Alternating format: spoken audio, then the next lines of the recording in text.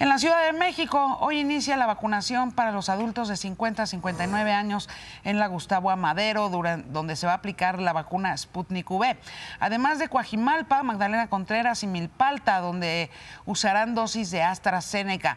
La jefa de gobierno anunció que en esta etapa se espera vacunar a más de 254 mil adultos de 50 a 59 años. Entre las sedes de vacunación para la GAM se encuentra el Deportivo Hermanos Galeana, Ciudad Deportiva, Carmen Cerdán, la Prepa 9 y el Centro Cultural Jaime Torres Bodet. Para Coajimalpa será la Expo Santa Fe y en Magdalena Contreras será el ITAM Campus Santa Teresa.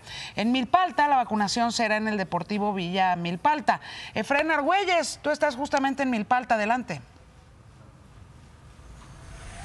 Querida Yuriria, amigos de Imagen Televisión, buenas tardes. La jornada de vacunación contra el COVID-19 continúa en la capital del país. En el caso de la alcaldía Milpalta, ya desde muy temprano una gran cantidad de adultos de entre 50 y 59 años están acudiendo para recibir la primera dosis de la vacuna. Platicamos con algunas personas, Yuriria, no solo aquí en Milpalta, también en Coajimalpa, para preguntarles qué les ha dejado la pandemia y esto fue lo que nos respondieron. Vamos a ver. Pues esperemos que un poquito más de vida, ¿no? Porque está complicado con esta enfermedad. Y esperemos que sí nos ayude, la verdad. Excelente, de 10. ¿Qué piensa hacer ahora que tienen la primera dosis? Seguirme cuidando. Eso es lo principal. Luego, para esperar la otra.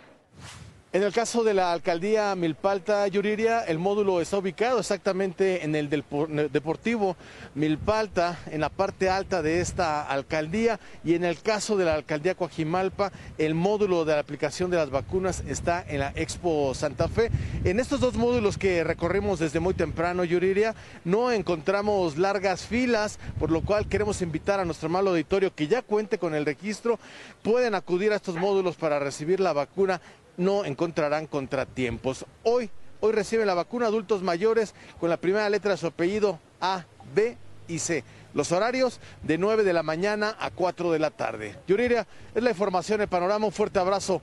Regresamos con ustedes al estudio. Buenas tardes. Gracias, Efraín Argüelles. Cualquier cosa regreso contigo a las calles chilangas.